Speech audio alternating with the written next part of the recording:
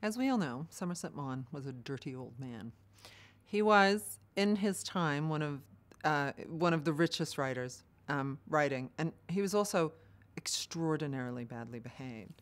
The British biographer Selina Hastings, whose earlier work has included biographies of the extraordinary Nancy Mitford and the equally wonderful and strange Evelyn Waugh, most recent book is The Secret Lives of Somerset Maugham.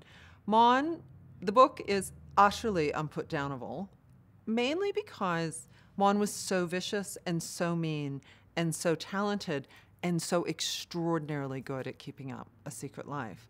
Without giving too much away, and for those who don't know much about Maugham's career, he basically managed to keep a wife and a daughter who hated him by the end of um, his life, is a sort of amazing public front. And behind the scenes, he was having the absolute time of his life in Capri.